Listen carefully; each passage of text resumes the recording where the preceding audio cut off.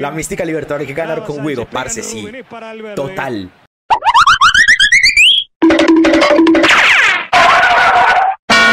Lo que metafísicamente debería ser nacional. Nacional no puede ser el bueno de la historia. Nacional necesita un villano. Es más, les tiro otra opinión impopular. Yo hoy, aparte de mucho chisme y mucha pelea y mucho salseo que vi en Twitter, vi gente puteando a Lucas González. Porque Lucas González se lo está comiendo el personaje y es una especie de Mourinho del de uno. Entonces ya lo odian porque suena muy agrandado, porque es muy estudioso, pero también es muy come mierda a la hora de declarar y es como medio grosero también.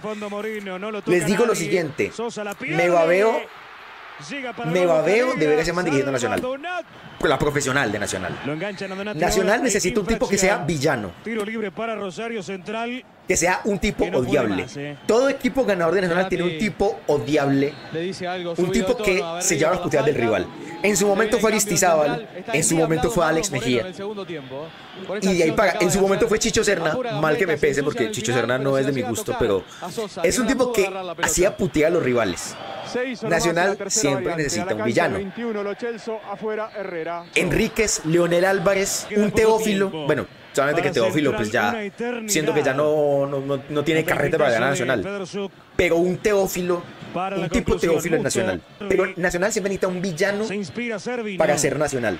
Es como, vos mismo días, ok, te doy a ese tipo que desde el minuto 3 vas a estar haciendo que a la tribuna y te va a hacer odiar y se acaba de morir la cámara, perdón.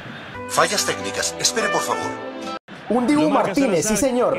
Lo que pasa es que curiosamente tenemos buenos arqueros. Y los dos son más buenos que el pan, huevón. Pero sí, un arquero tipo Dibu Martínez que, que le, le, le, den un trofeo y se lo ponga en el pene, eh, sí, banco. Vamos a ver si era eh, Pero qué jugador hay hoy en día en el FPC. El FPC está lleno de cariñositos. Sí, justamente porque la narrativa eh, periodística o profesional como quieras, castiga ese tipo de jugadores. Pero, marica, todo equipo necesita, bueno, todo equipo no, por lo menos nacional en la manera metafísica, espiritual, deportiva de funcionar, necesita un villano. Nuestro villano ideal en este momento sería Da Costa. Es lindo, tiene plata, le falta meterla. Le falta ese pequeñísimo detalle y es hacer goles. Nada más. La busca otra vez Guerra, toca Moreno.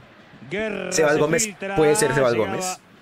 Otra vez Berrío. La declaración que dan es eh, hace tiempo. Eh, no, es que no tiene huevos, eh, no sé qué.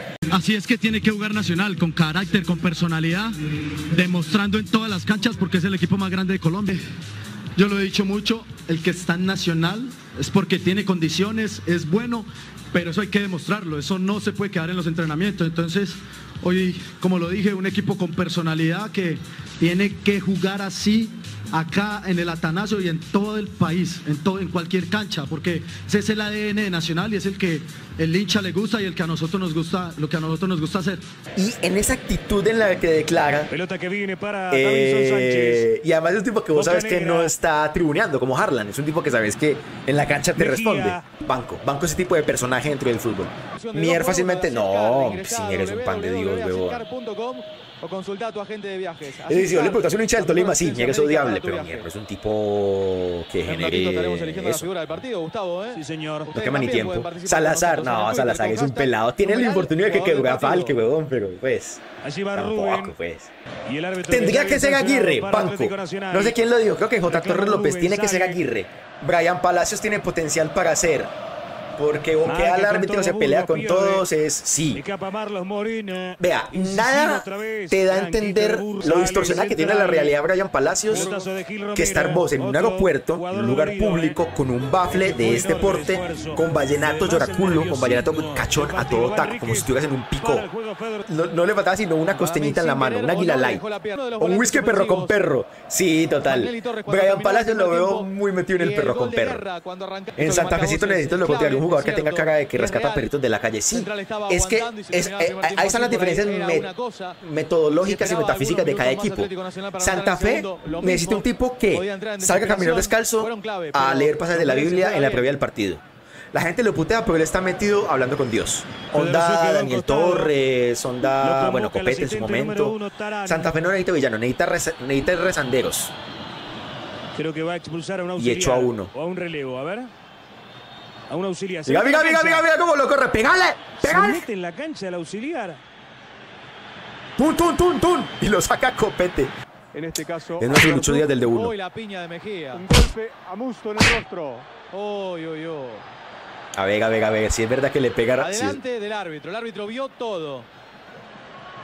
A ver si robamos. Partido Hablando de eso, quiero decir que Rosario, en el hoy partido de ida nos lo un penal muy grosero contra Sebastián Pérez, minuto Fedorzuk, 20 si piola del primer tiempo. Segundo tiempo es en lo disciplinario.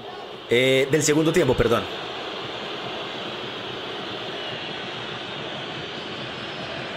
¡La chimba, metámonos!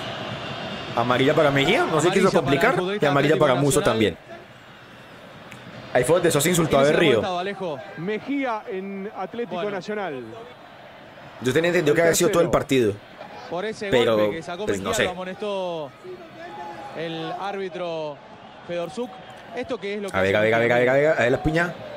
¡Ah! No le hizo nada. el brazo, ahora fue No le hizo nada. Le mandó la mano, eh, quítese.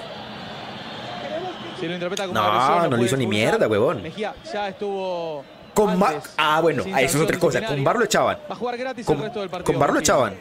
Pero no, no era nada, huevón.